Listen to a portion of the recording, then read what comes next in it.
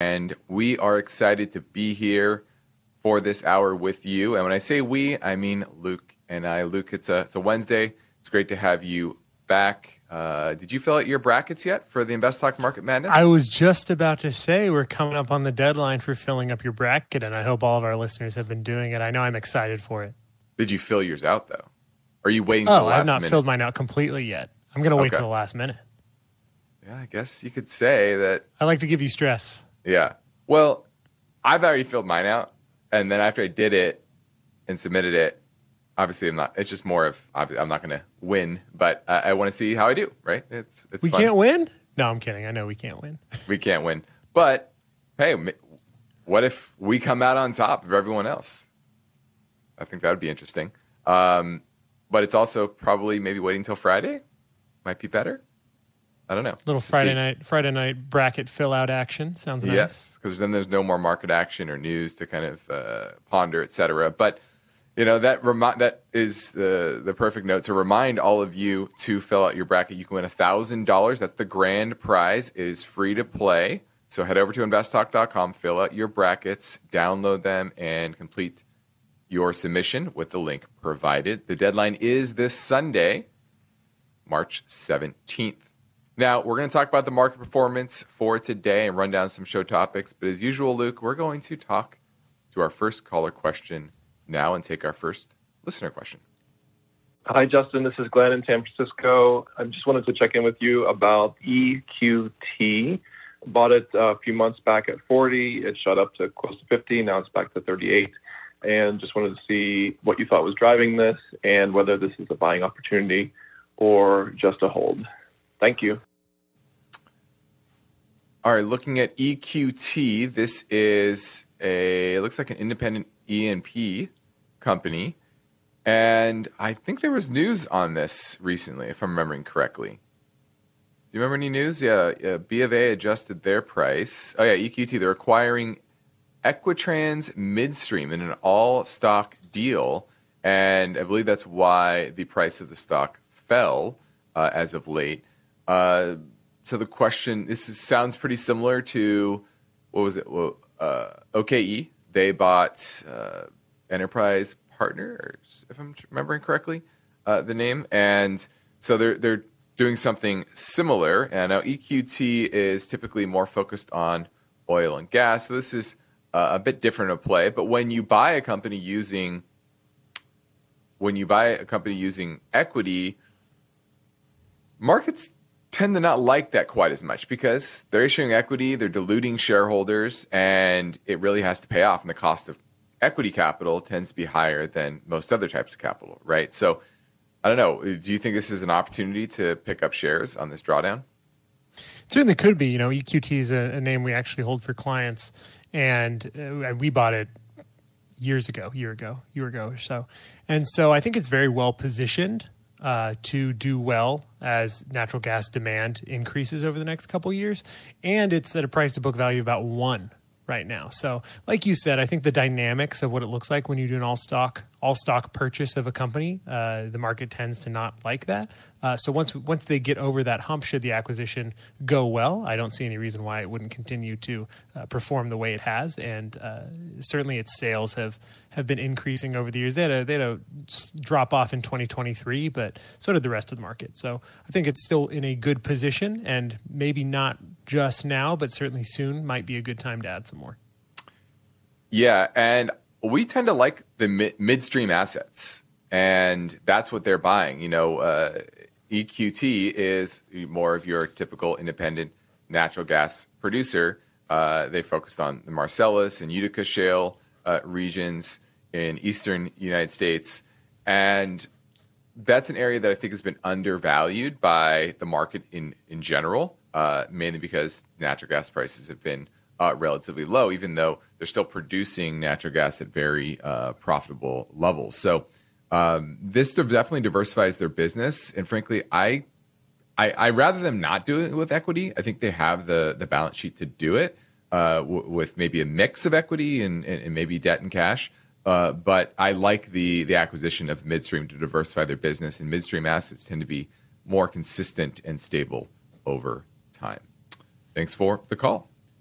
Now, we have a lot of ground to cover over the next 45 minutes or so. And our main focus point is about tax efficiency in your portfolio, how to think about making your taxable account more tax efficient. And a lot of people stop, a lot of people go into buying equities, making investments in a taxable account without any thought of the tax implications.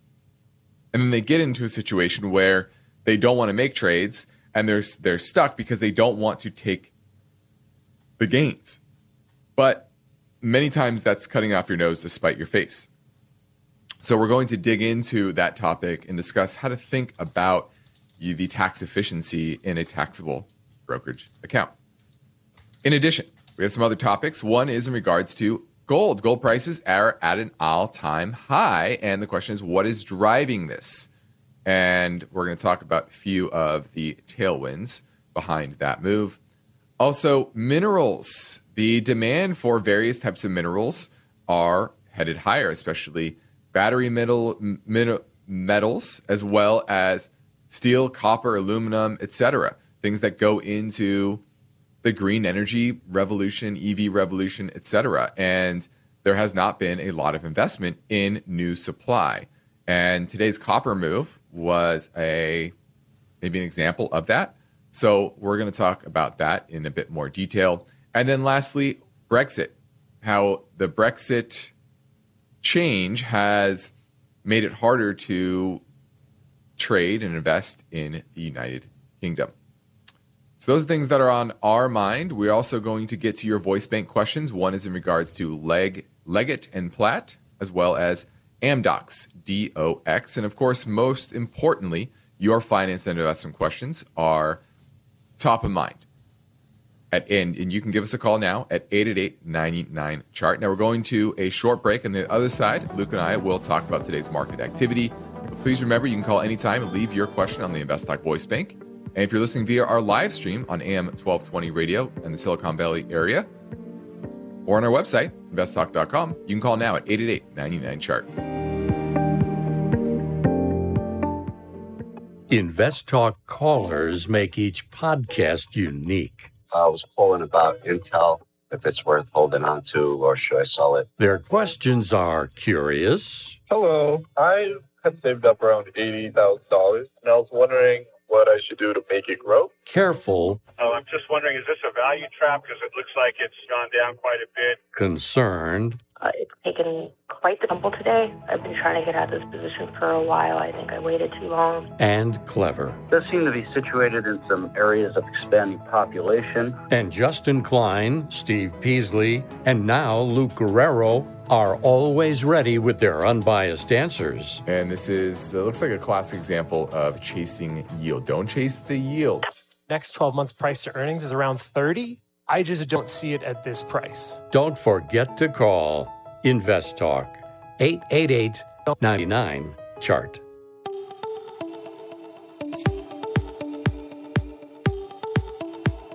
Invest Talk is here to help. And when you download the free Invest Talk podcasts, don't forget to rate and review. The phone lines are open 888 99 chart. Now, Luke, let's take a quick look at the markets today. What did uh, the major indices do in the equity side? Yeah, the S&P 500 was down slightly, though off of worse levels, down about 19 basis points. The Russell 2000 was up about 30 basis points, and the equal weight index was pretty flat. So overall, better day for small caps than it was for large caps. I think from a narrative perspective, there wasn't really much going on. Today was kind of a day without any news. Tomorrow, there's believe initial claims is tomorrow. Retail sales are tomorrow. So certainly on top of the slightly hotter than expected CPI da- uh, data that came in yesterday, it'll be interesting to see how the consumer reacted in the last month in terms of uh, retail sales. Well, I think most important tomorrow is the PC, uh, the the producer price index, and oh, how, oh yeah, that as well. Yeah, because and I, said, I talked about this uh, yesterday. I think it was yesterday's show about how everyone focuses on the CPI, but the PPI is is a leading indicator of where the, the CPI is actually going. So uh, that I think is a more important number to uh, to look at, and we'll get that tomorrow. And then after that, you pretty much have the Fed meeting You have import export prices on Friday, so that'll be important too. But then the Fed meeting next week, and I think the market will start looking at that or paying attention to it. Uh, it was, like you said, a, a, mixed bag overall, but still, uh, the value side did much better. Uh, if you're looking at the Morningstar website, both all small, mid, and large cap value were up on the day, anywhere from about 20 basis points to 30 basis points. And the worst part of the market, large cap growth, down 54 basis points. And there were some big movers there. Dollar Tree, that was down 14%. They're, they're, they're closing about a 1,000 stores. Uh, United Steel was down 12%. You also had some uh, bigger tech names. You had AMD down 4%, Tesla down 4.5%. Tesla is quietly edging towards a 52 week low. It's back to levels not seen since May of last year. And its high was back in July when, you know, the market kind of peaked out. Uh, it was almost $300 per share. Now we're at 169. So Tesla is quietly down o- o- almost 50% and it looks very sickly. So uh, Nvidia was also down 1% today. Apple down 1%, Marathon Digital down 2.4. Some of the big gainers, Luke, we had a good day. Williams Sonoma up 17 quarters percent. It's a name we've owned for a, a while, as well as Southern Copper. Copper uh, exploded higher on news that China was shutting down some of their copper smelters. Uh, and it's another example of how so many people focus on demand, and demand is certainly important. But supply, especially when it comes to commodities, is equally important. And so when suddenly supply comes offline, major supply like ch- the Chinese smelters, uh, that's going to really put put a move in uh, that underlying commodity price, and that's what happened with copper today. So those are the big movers. Gold was up as well. Uh, overall, I still see that rotation uh, where when the dollar weakens and economic growth and inflation numbers are turning a bit higher, that is a recipe for money to flow into what are what I, I call more cyclical parts of the market as opposed to secular growth names. So when cyclical growth is getting better, then money flows into the cyclical names. When it's getting worse, the market tends to go and search for growth somewhere, and they tend to move more towards the, the, the secular growers. And so that's the shift you're seeing right now. And if the dollar continues to weaken and the economic numbers stay fine, right, you don't have a big deflationary impulse, then uh, that's going to mean more money flowing into uh, equities or cyclical equities. And I don't know if you saw Luke, but Goldman Sachs just upgraded their earnings expectations for S&P earnings for 2024. So a lot of factors impacting the markets today, mainly that weak dollar. And we'll see about the PC, the CPI, no, PPI? PC. PPI tomorrow. There we go. PPI. PPI. Now let's pivot back to the InvestTalk Voice Bank. You know the number, it's 888 chart. Hi, this is Adrian calling from Texas, and I wanted your thoughts on ticker symbol DOX. Looking pretty good. I'll pick this up on Fidelity, holding it for a short to midterm hold. Wanted your thoughts on it. Thank you.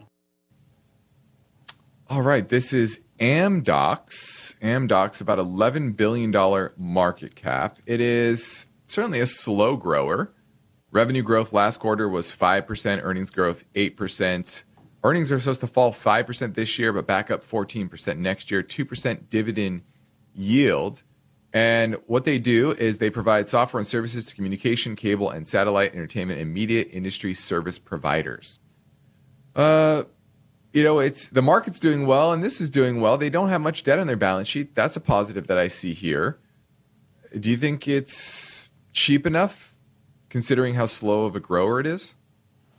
Well, not only do they not have a lot of debt on their balance sheet, they've also been consistently buying back shares over the past five years. They're at 140 million shares outstanding. Now they're at 110 million. And that sales growth from last year has been pretty consistent. Their five year annualized growth rate is around 4.2%. I don't hate the company. Certainly don't hate the company. I think that the dividend yield seems to be justified. It's something that seems to be pretty consistent. I, uh, yeah, I have, nothing wrong with this. Yeah, solid name, 15.5% return on equity. I'd give this thumbs up. Not not going to blow the socks off anything, but uh, a very quality business and a good capital allocator. Now we're heading into a break. Give us a call at 888 99 Chart.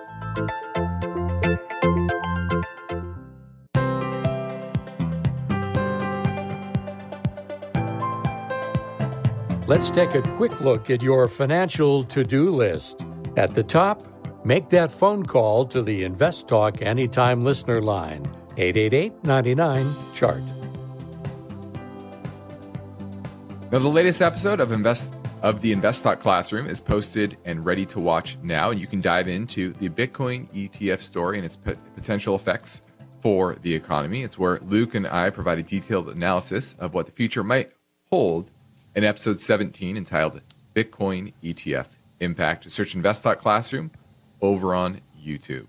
Now, our focus point today is about tax efficient portfolios. And this is something many investors don't think about when they start investing in a taxable account.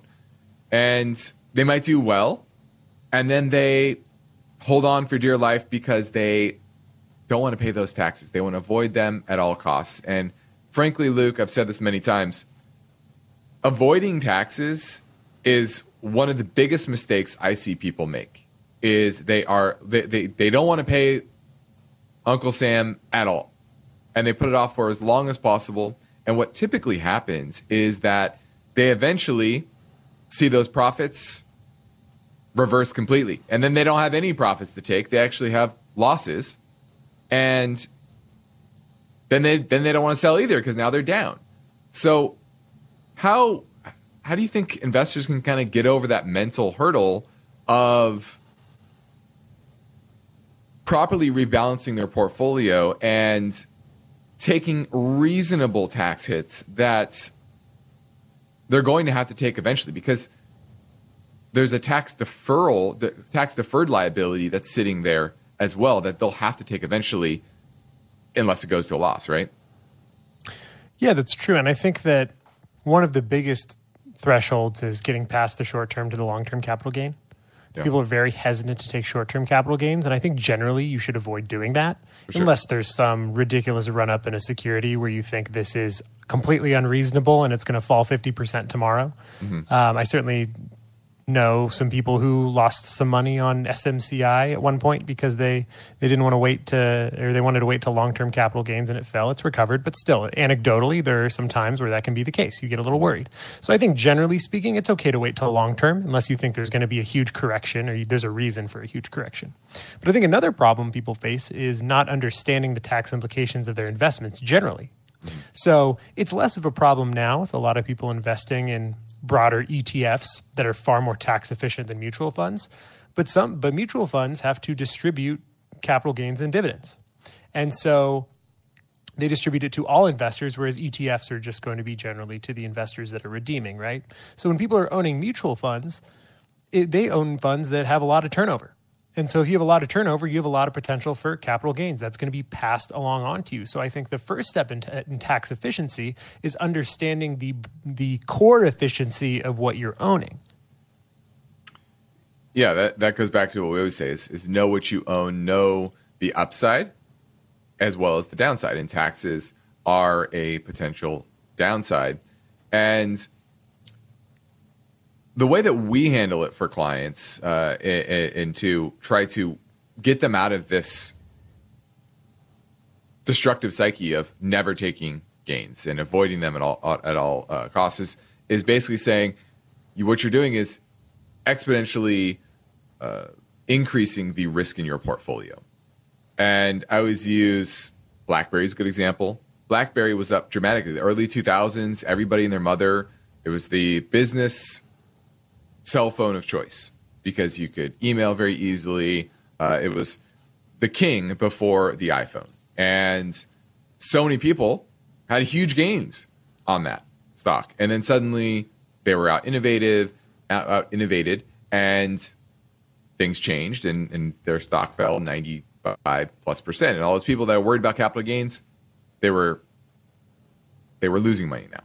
And so it would have been much better if those portfolios rebalanced and got their position into a more reasonable size. And you can go out through history. Obviously, high flyers can turn into big duds, you know, from Enron uh, to Cisco to all over the board, right? And so, what's to say the current tech high flyers? Google is a good example. We've talked lately about how there's a potential risk of AI really encroaching on their search business. And that could potentially impale them. But there's a lot of people out there that probably have owned Google for decade plus, and they're not selling it because they don't want to pay the tax. When either it's it's going to uh, not live up to the hype and eventually, you know, go back down dramatically, or maybe it stays up, but you're going to have to pay the tax man eventually anyway because you're going to want to use that money probably unless you're just going to hold it until you die you get stepped up basis to your kids that's probably the only argument against doing smart rebalancing on positions that are overweight and have huge capital gains can you think of any other reason why you might not trim some of those positions No, I mean generally I don't. I think that, like you said, people tend to be very averse to giving up some of their money to the tax man, but the tax man always gets his money. Yeah. Um, and in doing that, they tend to or can prevent themselves from realizing some, if any, profit from from holding those positions. So, like I said, there are reasons why to delay selling, right? If you're talking about the difference between a high tax rate and and a long term capital gains tax rate, I get it. You want to wait a couple weeks, makes perfect sense. But again, you just have to do it in a reasonable way and not trick yourself out of realizing the profit that you've made in your portfolio. And most people think of it as all or none. Like, hey, I need to sell sell it or, or not. No. Well, what about trimming consistently throughout time and getting that down to a reasonable number? And that's usually the best course of action. Now, the next Invest Talk, we'll look into this topic the 10 most important shareholder rights. That story tomorrow. But for now, I'm Justin Klein with Luke Guerrero, and we're ready to take your calls at 888 99 Chart. Let's say you've been thinking about learning a new language. Okay, why? I mean, how would it come in handy? And where would you want to use it? Could it be that you have an upcoming international trip? Or maybe you want to connect with family members or friends from a different culture? I think you should know about Rosetta Stone. With millions of users, it's been the world's most trusted language learning program for 30 years. Rosetta Stone is available on your desktop or as an app with Audio Companion and the ability to download lessons offline. Rosetta Stone truly immerses you in the language you want to learn. It has a built in, patented speech recognition engine called TruAccent. So as you practice speaking, you'll get feedback on how well you pronounce words. With Rosetta Stone, you pick up a language naturally, first with words, then phrases, then sentences. It's an intuitive process designed for long term retention. You really learn to speak, listen, and think in your new language. Rosetta Stone is an amazing value, so your special skill set is within easy reach. You know you want to do this, so don't put off learning that language. There's no better time than right now to get started. For a very limited time, InvestTalk listeners can get Rosetta Stone's lifetime membership for 50% off. Visit rosettastone.com slash today. That's 50% off unlimited access to 25 language courses for the rest of your life. Redeem your 50% off now at rosettastone.com slash today.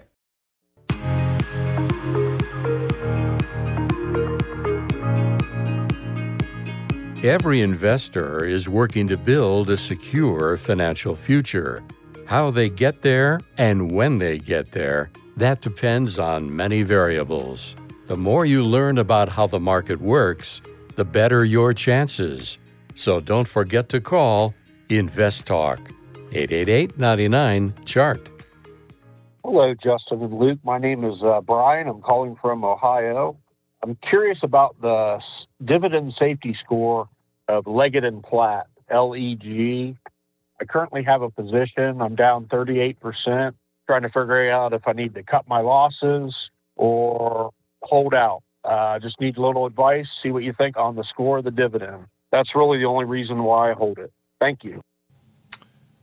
All right, looking at Leggett and Platt, LEG is the symbol, and Luke, its current yield is 9.5%. Now, what is your first instinct when you hear that a company has a current dividend yield of 9.5%? Not to be 9.5% for long. There you go. That's my first my first inclination. And it's pretty clear by the earnings trends that this is headed for a dividend cut, uh, as well as the the chart. Right? He talked about him being down. This is at a 52 week low, and the lowest. Let me zoom back out to a monthly chart here. Yeah, it hasn't been this low since 2012. 2012. And revenue growth last quarter was down 7% year over year. Earnings are down 33% year over year. And it looks like they have about $2 billion in, de- in long term debt on a $2.5 billion market cap. Times interest earned, Luke, negative one. Negative one. So do you think they're going to cut the dividend this year? I, probably. I mean, it looks to me like they have to. Their cash flow has been increasing interestingly while their profitability has been steadily falling before dropping off a cliff a little bit at the end of last year. But one thing that also strikes me is that their quick ratio, which is essentially a, a comparison of their liquid assets to their liquid liabilities, has dropped below one for the first time in five years. So, I mean, the company's not in a good fundamental financial position.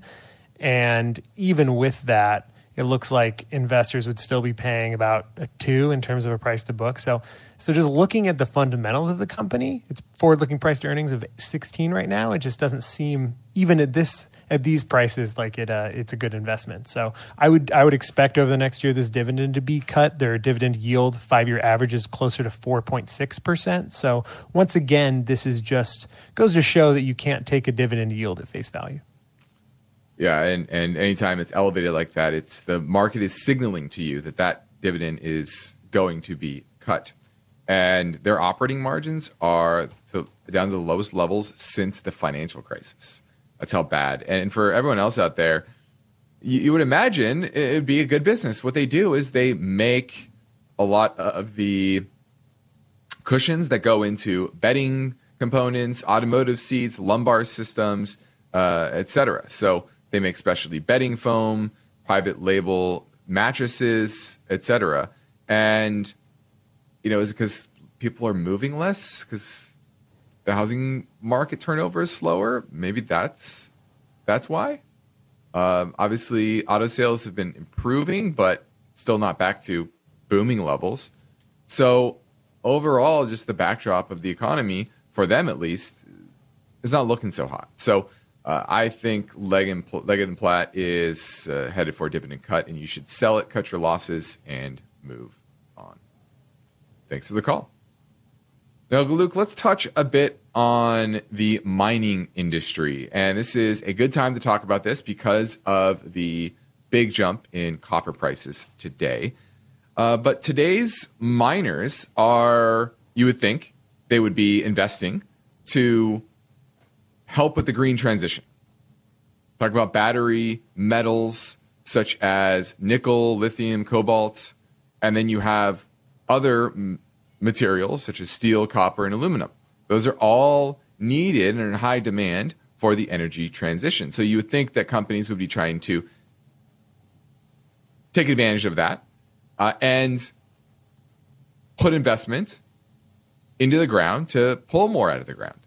But the simple answer is they're not. In fact, the world's largest miner, BHP, last year spent less than half on exploration and development than it did a decade ago.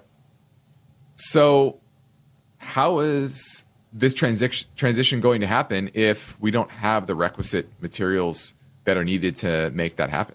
You're right. We talked about maybe a couple months ago how uh, Dr. Copper, which used to be a harbinger for what was to come with the economy on a macro scale, is more uh, indicative of the demand of the green transition, right? So looking at copper prices, kind of you, you, should change your perspective on what it's telling you. And that's because these minerals, like you said, are very important for the green transition.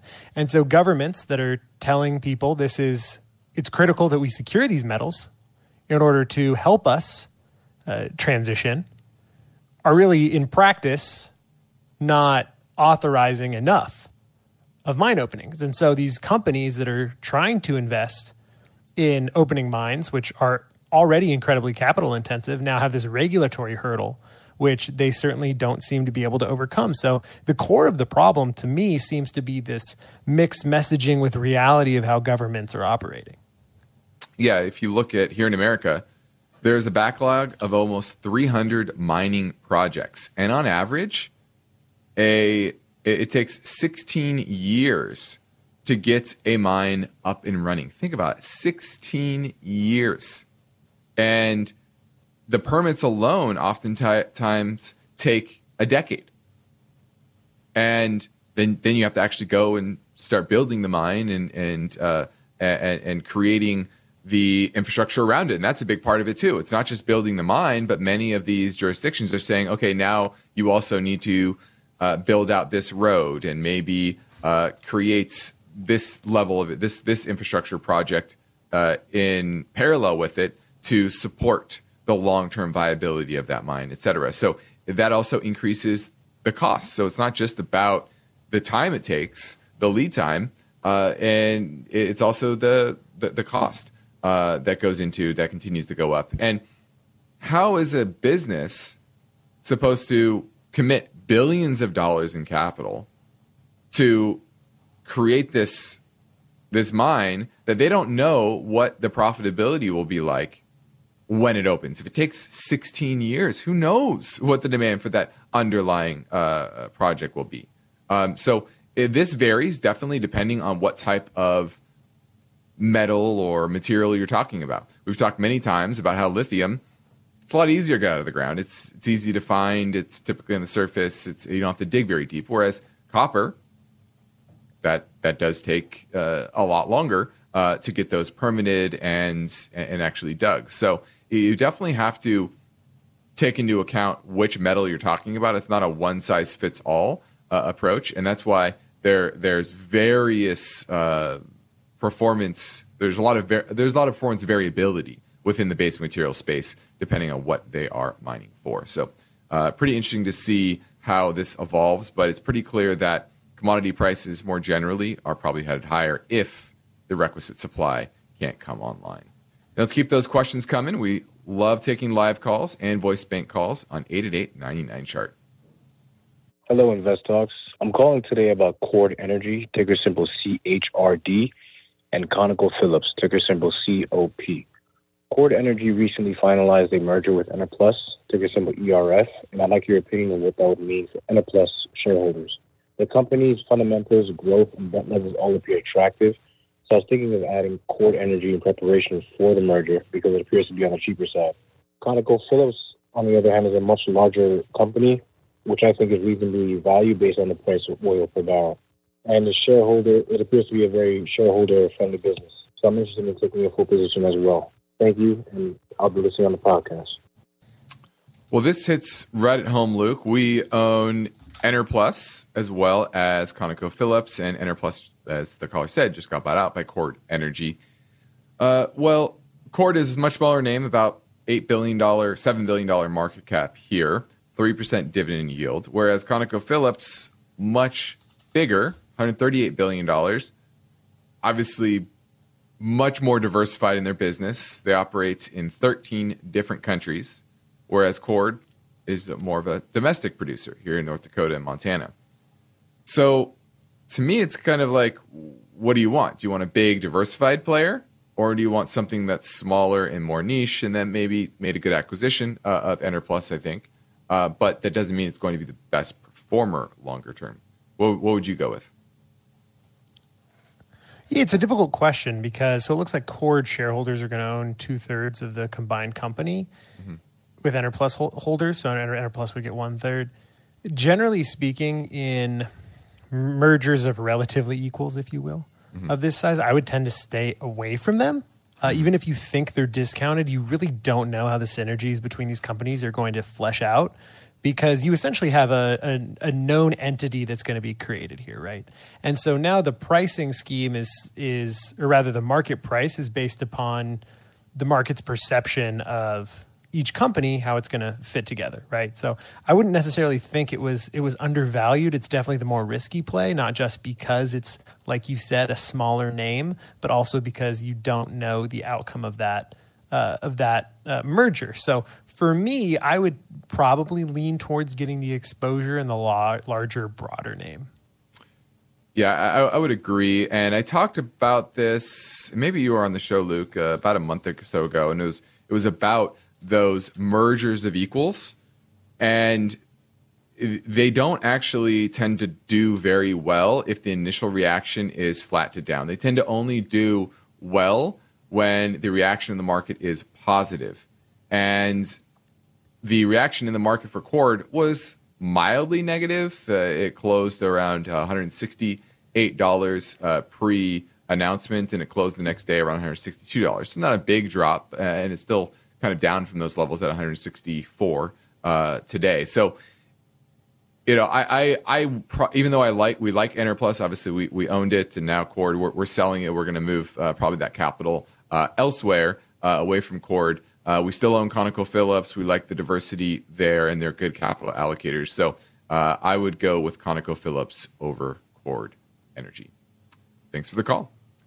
Now, 2024 is humming along, and the first quarter is nearly over. We only have a couple of trading weeks remaining before we get wow. into the second quarter. And of course, what's most important to you is capitalizing on your capital, deploying that most efficiently, effectively in the current market environment. At the top of the show, we talked about that shift in the market away from kind of those secular growth names into the more cyclical names in the economy. And so the question is is your portfolio aligned with this new emerging trend that we're seeing?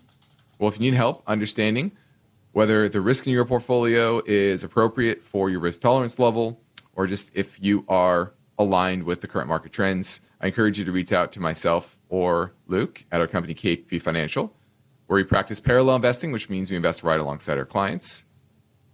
And of course, you can schedule a call by heading over to investtalk.com, click on the portfolio review button on the top right hand part of the screen.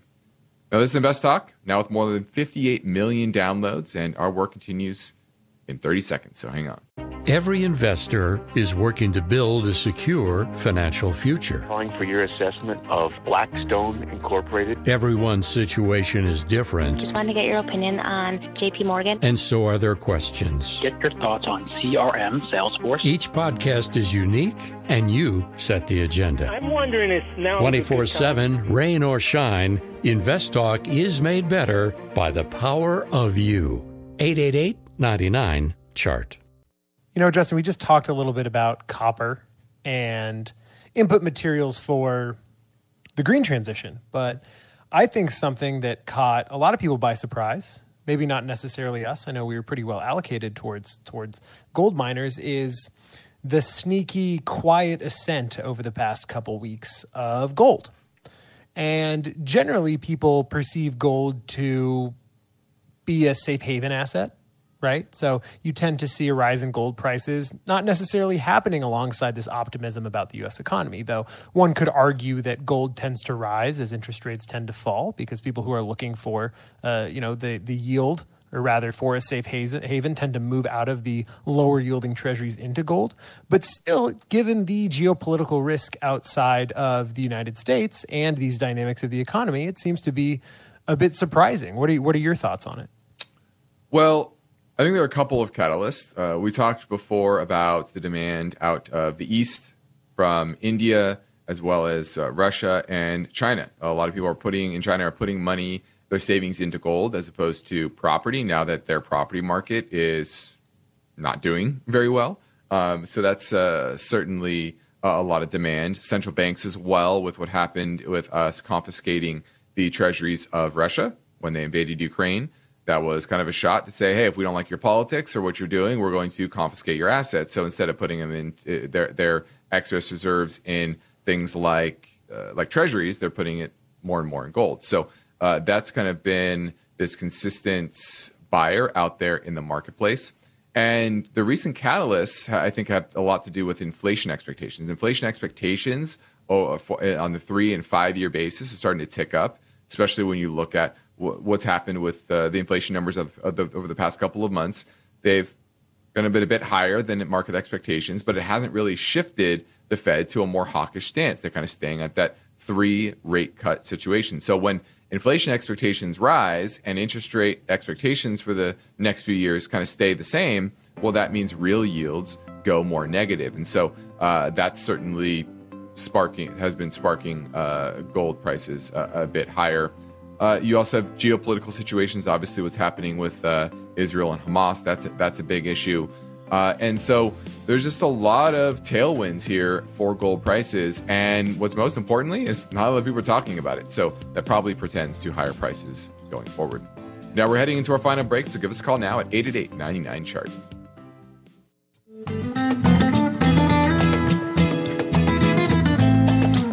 In today's market, more than ever, you need unbiased investing guidance because it can help you achieve financial freedom. Well, you've come to the right place, Invest Talk. And Justin Klein is here now taking your calls live. So step up with your questions, 888 99 Chart. Hello, Invest Talk. My name is uh, Brian. I'm calling from Ohio. It's, this is my first time calling in.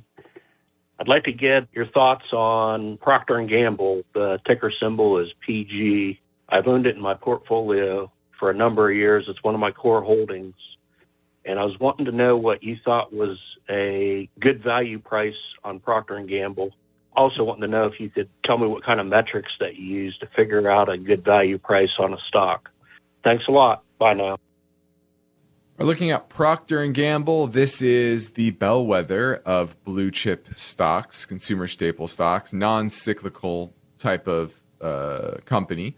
Although there's definitely some cyclicality to their business because they have branded products that tend to trade or sell for higher prices than their store bought counterpart uh, or store brand ca- counterpart. And obviously, the economy reaccelerating. I think that's why you're getting the stock kind of accelerating to near 52 week highs. Yeah. Uh, not all time highs quite yet. That's uh, closer to 165 or 162.30 at the close today. Uh, you know, after this run, Luke, it looks a little expensive, trading at 20, what, 23 times forward looking earnings. That's a bit stretched for my liking. Uh, I'll, pay a bit of a premium for a company that has very strong return on invested capital. But am I going to pay this much? Do you think it's modestly overvalued? I'm not necessarily sure it's it's modestly overvalued. I mean, its its revenue growth over the past five years is an annualized 4.2 percent, but its price to sales is sitting at a 4.8, which is right in the middle of that range of its five year average. Its price to book is at an eight, again, also in the middle of that average. I know that Procter and Gamble specifically uh, had some bloat, if you will, cut out of it uh, by activist investors back in 2022. I know one of Nelson Peltz's big complaints was the massive offices they had that were completely unnecessary. So they held a lot of things within that PP&E section of their of their uh, accounting that was was unnecessary for a company like it. So in terms of large companies such as this, I think Procter and Gamble benefits from having recently seen activist investors come in and and uh, streamline it. So that's certainly a benefit as well. Uh, but generally speaking, I mean, I like the company. Like you said, it's a, it's a bellwether for, for the economy. If you believe the economy is going to do well, better than others going forward, then then certainly this is a good place to park your cash. And I don't I don't think that it's that it's too overvalued from a couple of metrics that I'm looking at.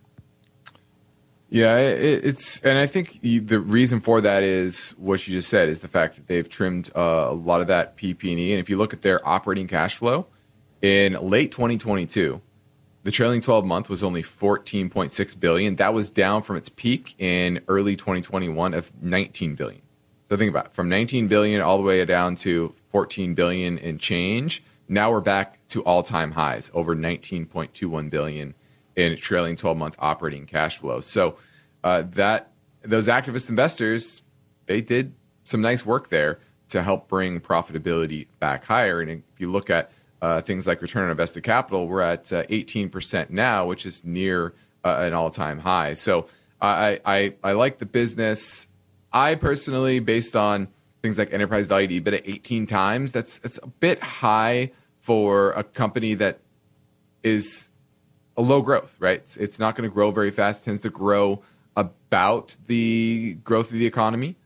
Right, last quarter revenues were up three percent, earnings were up sixteen percent. Earnings this year are supposed to be at five percent and eight percent next year, but those estimates are coming down a bit. So, you know, I, I wouldn't necessarily trim it. I would say it's near or slightly above value, but it's such a good business that it's probably going to continue to pay that 2.3% dividend and grind higher over time. So um, I would just hold it. Now, Luke, his other question was, what do you look at to understand whether this is over or undervalued? I just quoted enterprise value to EBITDA. What's your favorite? Yeah, price to book price to earnings. Those are good ones to look at. But I think it also generally generally you got to compare it relative to what your what your growth picture looks like too. You're definitely going to be willing to pay pay more of a, a multiple for for large consistent growers than you would undergrowers. And profitability, right? Like the, how consistent is that profitability and and uh, it's a mosaic. It's yeah, the sustainability of their of their business, the moat that they their business has, etc.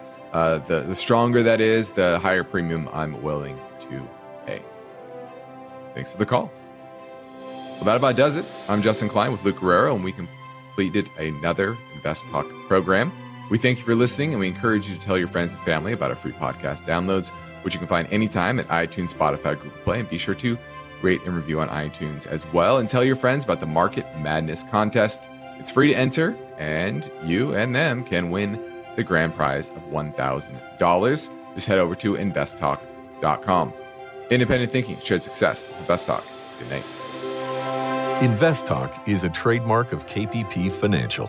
Because of the nature of the interactive dialogue inherent in the format of this program, it's important for the listener to understand that not all comments made will apply to them.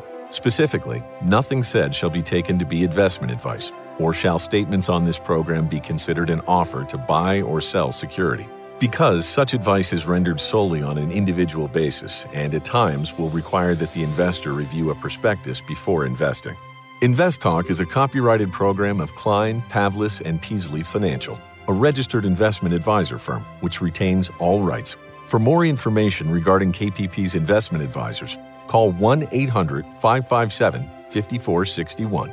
Steve Peasley is president, and Justin Klein is chief executive officer of Klein, Pavlis, and Peasley Financial.